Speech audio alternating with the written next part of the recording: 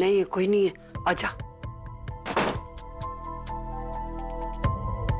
दादी बहुत बहुत बड़ी गड़बड़ हो गई।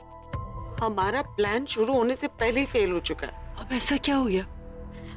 इन्होंने कॉन्सर्ट करने से ही मना कर दिया।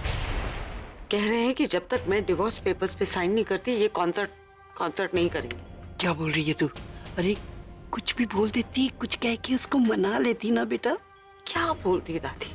और आप तो इन्हें जानती है ना, एक बार किसी जिद पे अड़ जाते हैं तो किसी की नहीं सुनते। और ऐसा नहीं है कि मैंने कोशिश नहीं की दादी। मैंने तो इन्हें डराने की भी कोशिश की। ये भी कहा कि अगर कॉन्सर्ट के लिए मना कर देते तो क्या क्या हो सकता है? लेकिन नहीं, उन्होंने तो कहा कि डिवोर्स बिना लिए ये कॉन्सर्ट नहीं करेंगे। चाहे चाहे इन्हें जेल भी हो जाए। अरे बाप रे, ये तो वाकई अड़ गया। अब इसको मनाएँगे कैसे? तनु और उसके बॉयफ्रेंड को कैसे पकड़ेंगे? ये ये ये प्लान हमारा तो शुरू होने से पहले ही खत्म हो गया। दादी मैं सोच रही थी कि अब अब आप भी कुछ कर सकते हैं। मैं? हाँ दादी प्लीज़ देखिए आप जानती है ना कि मैं, मैं हार चुकी थी और ये आखिरी रास्ता मिला है हमें। मतलब हमारी मकसद से सिर्फ़ एक कदम की दूरी पर है हम। मैं तो उम्मीद ही छोड़ चुकी थी पर तभी हमें ये ये आइडिया सूझा और यही आखिरी उम्मीद है हमारी। आप प्लीज़ कुछ कीजिए क्योंकि अगर हम तनु का सच सामने नहीं ला पाए तो तो इन्हें संभालना बहुत मुश्किल हो जाएगा दादी। और हम हम ज़्यादा दिनों तक ये बात नहीं छुपा पाएँगे कि मेरा और इनका तलाक हो चुका है। ऐसा ना हो कि तनु का सच सामने आए उससे पहले मेरा सच इनके सामने आ जाए। नहीं नहीं ऐसी बात मुँह से भी मत निकालना। क्या करूँ दादी? मुझे तो लग रहा है ये सब सच ही हो जाएगा। तो अब रोना मत। तुझे रोते हुए देखती हूँ ना तो इस बुढ़ापे में जितना मेरा दिमाग काम करना चाहिए, वो भी नहीं करता। अब मुझे तू सिर्फ़ सोचने दे।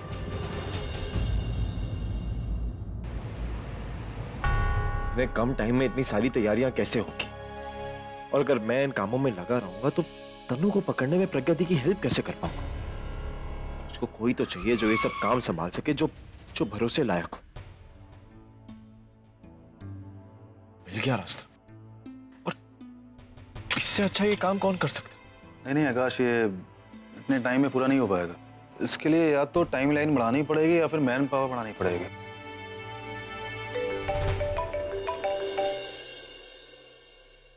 पूरब का फ़ोन आ रहा है। तो बात करो। हाँ पूरब हेलो हाँ बोल। आकाश कैसा है यार? अब फ्री है अभी तो बात कर सकता हूँ क्या? हाँ मैं वो राज भाई के साथ एक इम्पोर्टेंट मीटिंग में था। बोल ना। हाँ Akash it's kind of urgent only और एक्चुअली जो अभी का म्यूज़िक कॉन्सर्ट है ना उसकी अरेंजमेंट्स के लिए मुझे थोड़ी तेरी हेल्प चाहिए थी। और ये काम तेरे से अच्छा और कौन कर सकता है? Please if you can help me तो it's gonna be great sorry Purab I so wish I could help you but यहाँ की सिचुएशन बहुत हैक्टिक एनीवे मैं जैसे फ्री होता हूँ वैसे कॉल बैक करता हूँ। अब एक सेकंड पूरा होल्ड करना। ए, एक मिनट वो अभी भाई कॉन्सर्ट के लिए मुझे हेल्प मांग रहा है। फ़ोन देना। हाँ पूरब। आकाश पहुँच जाएगा यू डोंट वरी हाँ मैं यहाँ पे संभालूँगा वहाँ पे आकाश रहेगा तो थोड़ा सा हेल्प हो जाएगी। दूसरा इतने टाइम के बाद अभी कॉन्सर्ट कर रहा है तो फिर वो हिट होना भी बहुत ज़रूरी है। ठीक है? थैंक यू सो मच चल बाय कब ऑन भाई। आपको पता है यहाँ की सिचुएशन कितनी हेक्टिक है। मेरी यहाँ पे कितनी ज़्यादा ज़रूरत है और आपने पूरे को हाँ कर दिया। यहाँ का काम कोई भी कर सकता है। तुम वहाँ पर जाओगे तो काम काफ़ी बेहतर कर पाओगे। दूसरा तुम्हें एक्सपीरियंस है उस काम का। और अभी को भी अच्छा लगेगा तुम उसकी मदद करोगे तो। और कहीं ना कहीं मेरे माइंड में एक एक टेंशन है आलिया को लेकर के कुछ ना कुछ वो प्लान कर रही होगी पक्का। तो ऐसे में तुम वहाँ पर रहोगे तो तुम उस पर नज़र भी रख सकते हो प्लस देख सकते हो कि क्या गड़बड़ हो रहा है कुछ। मतलब मेन तुम्हारा मकसद ये नहीं है कि यहाँ कॉन्सर्ट हो जाए। उसका हिट होना उसका सही होना भी बहुत ज़रूरी है। आई गॉट योर पॉइंट भाई। अब अब टेंशन मतलब डोंट वरी वहाँ पे कुछ भी गलत ना हो उसकी मैं गारंटी देता हूँ। गुड मुगैम्बो खुश हुआ मुगैम्बो खुश नहीं हुआ मुगैम्बो फुस हुआ मेरे बच्चे कहाँ अरे दादी इथे लेफ़्ट टर्न दादी इकडे या पुढे नको जा. अरे मेरे लाल मेरे सुनो पुत्र सब तो सुनो मेरा चाँद। बेटा जिस सूझबूझ से आज तूने काम लिया ना बहुत अच्छा किया। लगता है कि तुम मेरा ही पोता है। और मेरा खानदान का असली चिराग तू ही है मेरा पुत्र। मुँह मीठा कर मिठाई खा बेटा।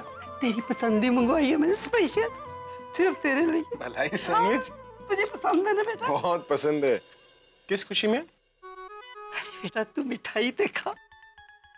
हाय मैं सदके जाऊँ तेरे बड़प्पन तो। अच्छा काम भी करता है और भूल भी जाता है। जुग जुग जिए पुत्र तू जुग जुग जी इतनी टेंशन में इतनी टेंशन में तूने सबका दिल खुश कर दिया मेरे लाल आप किस बारे में बात कर रही है मुझे समझ में नहीं आ रहा है प्रज्ञा को जिस शो के लिए तूने हाँ बोली है ना ये उसी की खुशी में मिठाई है आज तो बेटा तूने मेरा कलेजा ठंडा कर दिया मैं तो समझी थी जैसे एक एक करके सब लोग तेरा साथ छोड़ते जा रहे हैं। ऐसे तेरे म्यूज़िक ने भी तेरा साथ छोड़ दिया तो अपने म्यूज़िक से दूर हो गया पुत्र पर आज आज मेरा दिल ये सोचकर कितना खुश हो गया। तुझे आज भी अपने म्यूज़िक के साथ उतना ही प्यार है जितना पहले था। बहुत अच्छे से शो करता। और इस बार इस बार मैं वीआईपी सीट पे नहीं बैठूँगी। मैं तो तेरे पास स्टेज पे आऊँगी। तेरे साथ गिटार बजाऊँगी। गिटार नहीं तो मंजीरा तो बजा ही सकती हूँ ना। अरे दादी अपने हाथ गाड़ी को सारा ब्रेक लगाइए। बैठिए इधर बैठिए। देखो मैं भी चाहता हूँ कि जब मैं कॉन्सर्ट करूँ तो आप इसी तरीके से एंजॉय करें। लेकिन फ़िलहाल आपको ये प्लान ड्रॉप करना होगा। क्या? इतना बड़ा मौका तूने हाथ से गवा दिया। ये तूने क्या किया? ये दादी वजह है। और वजह सुनने के बाद आप भी बोलेंगे कि बेटा तूने एकदम सही किया है। कैसी वजह? आप ही बोला करती थी ना कि घी अगर सीधी उंगली से ना निकले तो उंगली टेढ़ी कर देनी चाहिए। मैंने कहा था। आप ही ने कहा है। तो मैंने सोचा ये उंगली टेढ़ा वेड़ा करने का चक्कर ही छोड़ देते हैं है ना?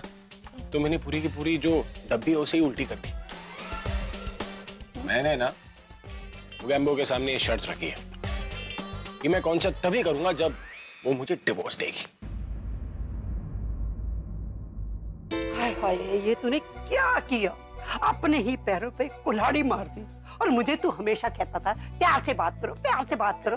और तू उसको गुस्सा दिला के आ गया। अब तू क्या सोचता है, ऐसे गुस्से में वो तुझे तलाक देगी, थाली में डाल के? अरे प्यार में कौन सा डिवोर्स दे रही थी वो? हर बात पे तो एटीट्यूड दिखा रही थी। इसलिए अब मैं भी उसे ईगो दिखाऊँगा। शायद इसी चक्कर में वो मुझे डिवोर्स दे दे। नेवर नो प्रज्ञा डाइवोर्स दे या ना दे, पर तेरा नुकसान ज़रूर होगा। अरे, उसको नीचा दिखाने के चक्कर में तू अपना करियर बर्बाद कर रहा है, पुत्र। और सुन, मैंने तो सुना है, प्रज्ञा इस बार कोई ऐसा वैसा शो नहीं कर रही। बहुत बड़ा शो कर रही है, बड़ा पैसा लगा रही है, और तेरे फैंस कितने आएँगे, कितनी भीड़ होगी। और तू जब स्टेज पे नहीं जाएगा, तेरे फ़ैन तुझसे नाराज़ हो जाएँगे। तेरा नाम बदनाम हो जाएगा। अरे दादी, मैं नुकसान सहने के लिए तैयार हूँ। लेकिन मैं ये मौका जाने नहीं देने वाला। अरे हर बात पे चाबुक निकाल के काम करवाती है ना, अब उसकी लगाम जो है वो मेरे हाथ में है। दादी, ऐसे काहे देख रही हो? ये सब मैं अपने लिए नहीं कर रहा हूँ, दादी। अपने होने वाले बच्चे के लिए कर रहा हूँ, उसके फ्यूचर के लिए कर रहा हूँ। इसलिए तो ये डिवोर्स लेना बहुत ज़रूरी है। तू बच्चे के बारे में सोच रहा है, पर बच्चों की तरह मत सोच। देख, तू आज उसका नुकसान कर रहा है, वो तेरा नुकसान करेगी, फिर तू उसका नुकसान करेगा, फिर वो तेरा नुकसान करेगी। और ऐसा, ये लड़ाई तो चलती रहेगी, और इस लड़ाई के दौरान ही बच्चा भी हो जाएगा। फिर क्या करेंगे? प्रज्ञा तो तुझे तलाक देगी ही नहीं। तू शो कर और शो में तू पब्लिक के सामने अपनी और तनु की शादी की डेट अनाउंस कर दे। मीडिया वालों को तो पहले ही पता है कि तू तनु से शादी करना चाहता है और ये जो प्रज्ञा है ना? ये तेरी शादी होने नहीं दे रही। अब क्या होगा कि तेरे जो फ़ैन है ना, वो प्रज्ञा को प्रेशराइज करेंगे, वो तेरी ही हमदर्दी लेंगे और फिर नारेबाजी होगी हड़ताल होगी और वो धरना देंगे और फिर इनकलाब जिंदाबाद होगा। और बेटा, ऐसे हालातों में तो सरकार भी घुटने टेक देती है और ये प्रज्ञा क्या चीज़ है? अपने आप को क्या समझती है? आखिर ये थक हार कर तुझे तो डाइवर्स देना ही पड़ेगा। अरे मेहरा दादी जिंदाबाद मेहरा दादी जिंदाबाद अरे मेहरा दादी जिंदाबाद। अरे क्या आइडिया दिया आपने दादी? कहाँ से लाती हो ये सारे आइडियाज़ बेटा रखा है आपका है? शर्लॉक होम्स की पिक्चर देख कर आई हो? क्या शलगम क्या? बलगम। अरे छोड़िए ना दादी बस मुद्दे की बात यह है कि अब मैं कॉन्सर्ट करने के लिए तैयार हूँ। मुझे मत बता। जाके प्रज्ञा को बोल दे प्रज्ञा को। ऑब्वियसली ठीक है मैं बोल कर। मैं कॉन्सर्ट करने के लिए तैयार। ओ पुत्र एक बात और है। उसको कहीं ये मत बता देना कि तू क्या सोचकर हाँ बोल रहा है। उसको अपनी प्लानिंग का अगर पता चल गया तो वो अपनी और प्लानिंग बदल देगी। डोंट वरी दादी। I have to do it and I will do it तो बस आप यहीं पर मेरा इंतज़ार करिए। मैं डू इट करके आया। हाय रब्बा। अगर इसने स्टेज पे जाके ऐसा ही बोल दिया तो? एक काम बोला था तनु को वो भी नहीं किया अभी तक। सिर्फ़ हेल्प लेना आता है इसे। हेल्प करने की बारी आती है तो पता नहीं कहाँ गायब हो जाती है। अभी बताती हूँ इसे। ये और इसका मोबाइल दोनों एक जैसे। आई थिंक अपने मिशन के लिए मैं तनु पे भरोसा करके बहुत बड़ी गलती कर रही हूँ। सिर्फ़ कॉन्सर्ट की इन्फॉर्मेशन लेने के लिए मैं इतना टाइम वेट नहीं कर सकती। और फिर उसकी अपनी इतनी सारी प्रॉब्लम्स है। वो उन्हें सॉल्व करेगी या मेरी? और अभी अभी तो वो मेरे साथ है, पर कभी भी भूल सकती है कि वो भाई के अगेंस्ट नहीं जाएगी। मुझे अपनी हेल्प खुद ही करनी होगी। ये मेरी लड़ाई है, अकेली ही लड़नी होगी।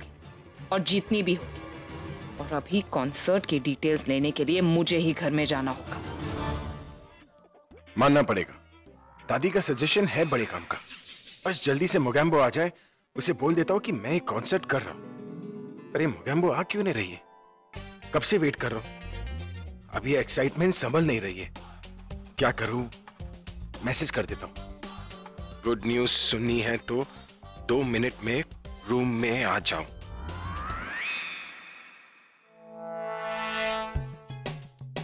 फास्ट सर्विस मैसेज पहुँचने से पहले ये पहुँच गई। ये क्या भेजा आपने मुझे? मैसेज भेजा है मैसेज मैं कौन सा कह रही हूँ कि चिट्ठी भेजी? क्या मैसेज भेजा? अरे थोड़ा मुस्कुरा कर भी तो पूछ सकती हो ना। गुड न्यूज़ है। गुड न्यूज़ क्यों? आपने अपनी शादी की डेट निकाल ली गुड न्यूज़ मेरे लिए नहीं तुम्हारे लिए। आप और मुझे गुड न्यूज़ देंगे। प्लीज़ पागल मत बनाइए मुझे। जो बेवकूफ़ है उसे क्या पागल बनाना? क्या कहा आपने? मैंने ये कहा कि मैं बिना किसी शर्त के कॉन्सर्ट करने के लिए तैयार क्या? आप मज़ाक तो नहीं कर रहे? मैं कॉन्सर्ट करने के लिए तैयार हूँ बिना किसी शर्त के। ओके हाँ मैं वही कह रही हूँ आप कॉन्सर्ट को लेकर मज़ाक तो नहीं कर रहे? तुम जानती हो म्यूज़िक मेरी लाइफ है। और कोई भी इंसान अपनी लाइफ को लेकर मज़ाक तो नहीं करता ना? आपने अचानक अपना फैसला क्यों बदल लिया? कुछ देर पहले तो इतने एटीट्यूड के साथ मना कर रहे थे। कुछ देर पहले और अब में कुछ देर का फ़र्क है तो उस कुछ देर में ये सब कुछ हो गया। आपने कहीं डिवोर्स लेने का फैसला भी तो नहीं बदल लिया? तन्नू से शादी और तुमसे डिवोर्स ये मेरे म्यूज़िक से बढ़कर नहीं है। सिंगिंग इज़ माई पैशन और म्यूज़िक ने मुझे सिंगर बनाया राइट मेरे लाखों फैंस जिन्होंने मुझे अभी से अभी द रॉकस्टार बनाया मैं उनका दिल नहीं तोड़ सकता और तुम्हारे लिए तो बिल्कुल ही नहीं। तुम खुद एक प्रोफेशनल हो ना तो तुम्हें तो पता ही होना चाहिए कि किसी भी इंसान को अपनी पर्सनल और प्रोफेशनल लाइफ अलग अलग रखनी चाहिए। तो इसलिए मैं ये कॉन्सेप्ट करूँगा। हुँ? नहीं ये ये झूठ बोल रहे ना तो मैं इन्हें जानती हूँ। ऐसी बातें ये ऐसे ही नहीं करते। वजह कुछ और है। पर कैसे पता लगाऊँ इस वजह का? ए, मनी मन लड्डू फूट रहे हैं ना? खुशी कंट्रोल नहीं हो रही कि इतने पैसों का क्या करूँगी? अरे, इस कॉन्सर्ट के बाद तुम वर्ल्ड का सबसे बड़ा ऑर्गेनाइजर बन जाओगी। इस कॉन्सर्ट के बाद तो हम दोनों की ज़िंदगी बदलने वाली है। मेरा मतलब है कि इतना बड़ा कॉन्सर्ट होगा, तुम्हें बहुत सारे पैसे मिलेंगे तो ज़िंदगी बदलेंगी ना? तो जाओ, तुम कॉन्सर्ट की तैयारी करो, मैं भी अपने सिंगिंग की प्रैक्टिस करता हूँ। एक्साइटमेंट कॉन्सर्ट की तो नहीं हो सकती। किसी और चीज़ की। दादी ने कुछ ऐसा तो नहीं कहा इनसे? दादी से ही पूछ लेती हूँ। प्रज्ञा? अच्छा हो गया तू आ गई। नहीं तो मैं तेरे पास आने वाली थी। तेरे को कुछ बताने दादी मुझे बहुत ज़रूरी बात करनी है आपसे। एक मिनट एक मिनट। तू कहीं मुझे ये तो नहीं पूछने वाली कि अचानक अभी ने कंसर्ट के लिए हाँ कैसे बोल दी? मैं यही बताने आई थी आपको कि इन्होंने अचानक फैसला बदल लिया अपना। कॉन्सर्ट के लिए हाँ कह दिया और वो कॉन्सर्ट को लेकर इतने खुश हैं, जैसे लाइफ की सबसे बड़ी अपॉर्चुनिटी मिल गई। बिना किसी शर्त के कॉन्सर्ट करने के लिए तैयार। मैं तो यही पूछने आई थी, लेकिन आपको पहले से कैसे पता कि मैं ये पूछने वाली? और आप आप इतनी परेशान क्यों हैं? एक्चुअली दादी आप आप प्लीज़ जल्दी बताइए मुझे टेंशन हो रही है। वो बेटा जब मैं उसको मना रही थी ना मुझसे एक गलती हो गई तो उसके बारे में सोच रही थी कि अब मैं अपनी गलती कैसे सुधारूं? कौन सी गलती दादी? वो जब मैं मैं उसके पास गई ना उसको मनाने के लिए तो मुझे कुछ सोच नहीं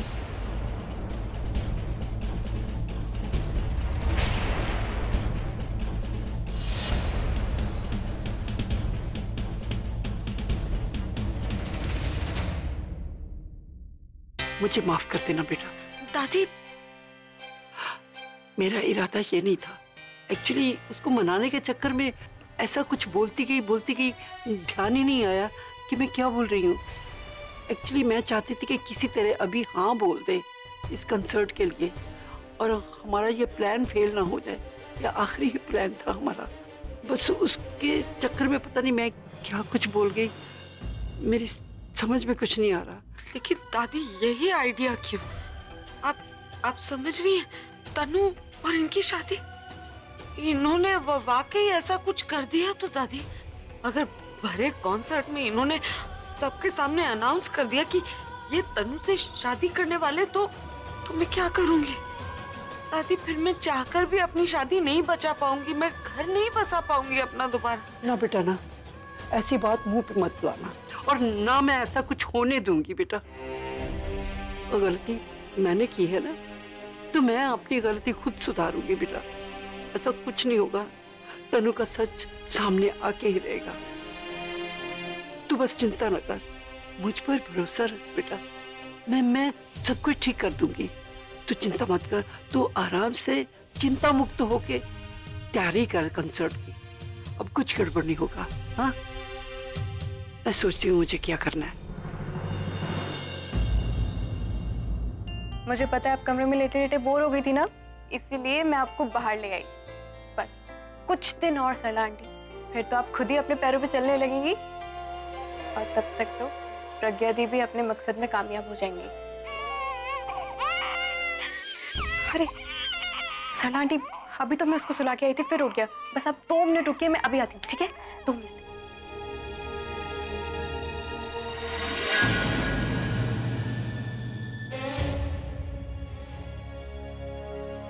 लगता है ये यहाँ मेरे लिए ही आई है। इस मुसीबत से छुटकारे पाने का इससे अच्छा मौका नहीं मिलेगा। कोई है भी नहीं आसपास। बस एक झटका और इसका खेल खत्म। फिर ऊपर जाके ये किसी को भी सच बताए। मुझे कोई फ़र्क नहीं पड़ेगा।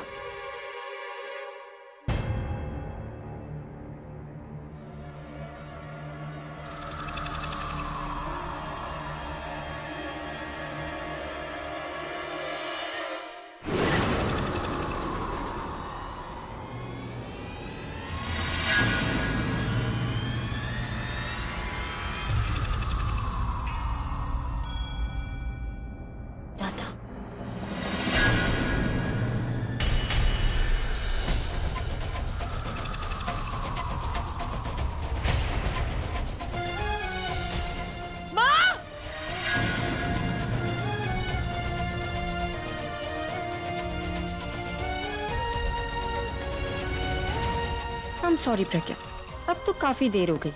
अब तुम्हारी माँ को तुम्हारी बहन के पास जाना ही होगा।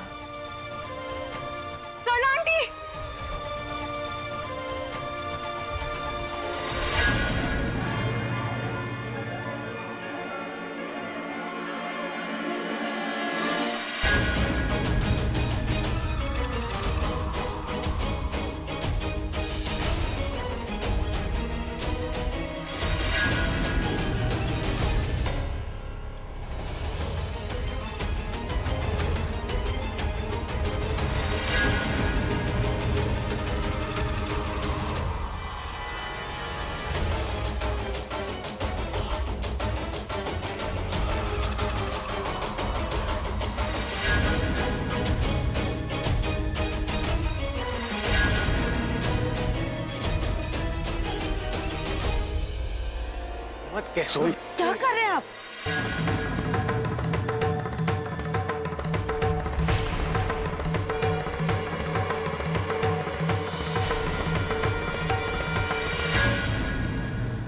इसने तुम्हारी माँ को मारने की कोशिश की और तुम इसकी साइड ले रही हो। अरे जिस दिन ये घर में आई थी ना उसी दिन मुझे इसके इंटेंशंस के बारे में पता चल गया था। क्या कहा था तुमने? कि तुम बदल गई तुम किसी के लाइफ में इंटरफेयर नहीं करोगी। अरे ड्रामा कर रही थी ड्रामा और तुम लोगों को इस पे इस पे दया आ रही थी ना? अब देखा, गलत इंसान पर दया करने का नतीजा।